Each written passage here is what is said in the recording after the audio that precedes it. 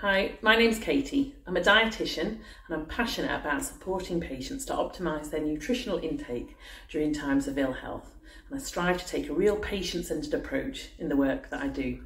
I graduated from Leeds Beckett in 2008 and joined Lancashire Teaching Hospitals that same year.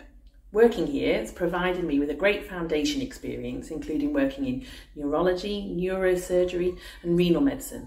It gave me the confidence to move to a senior role working to support head and neck cancer patients.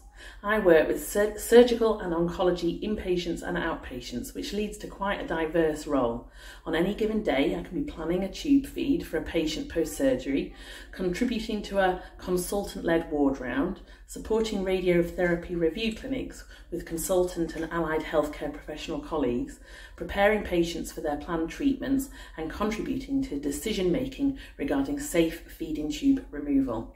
I love my job, working closely with the expert colleagues from other disciplines and supporting patients from pre-treatment through their journey to successful feeding tube removal is tremendously rewarding.